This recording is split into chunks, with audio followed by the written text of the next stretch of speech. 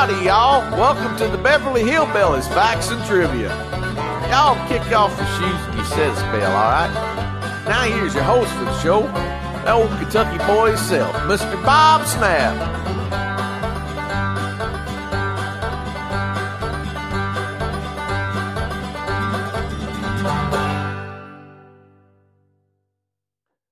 Hi guys, welcome to the Beverly Hillbillies Facts and Trivia. Um, I was looking through the comments the other day and somebody mentioned Miss Chickadee Laverne. What the heck? Let's look into her and see what what happened to her, what her career was like, other than from the Beverly Hillbillies. Pretty interesting uh, person, actually. Uh, so let's take a look at the early life and career of Barbara Nichols, who played Chickadee. Uh, she was born Barbara Marie Nickerauer, Nickerauer to George and Julia and was raised in Queens, New York.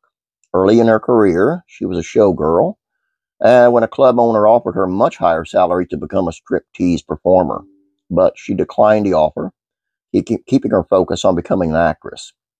She began modeling for Cheesecake magazine uh, in the late 40s and eventually uh, was considered a minor rival to Marilyn Monroe. On Broadway, she appeared in the 52 revival of Pal Joey. Um, she also appeared in the 57 film version and in Let It Ride in 1961. In the mid 50s, uh, she moved to Hollywood and began appearing in showy uh, supporting roles in A films such as Miracle in the Rain, uh, The King and Four Queens, The Naked and the Dead, uh, The Pajama Game, Sweet Smell of Success, uh, That Kind of Woman, and Where the Boys Are, uh, with high profile actors including Clark Gable, uh, Susan Hayward, Sophia Loren, and Doris Day.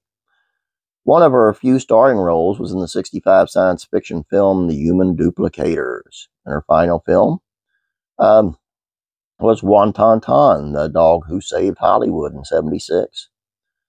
Uh, Nichols was also a frequent guest star in many television series, uh, including uh, It's a Great Life, the Jack Benny television show, Twilight Zone, uh, The Untouchables, The Travels of Jaimie McPheeters, Going My Way, Batman, uh, Hawaii Five-O, Green Acres, and of course, Chickadee and Beverly Hillbillies.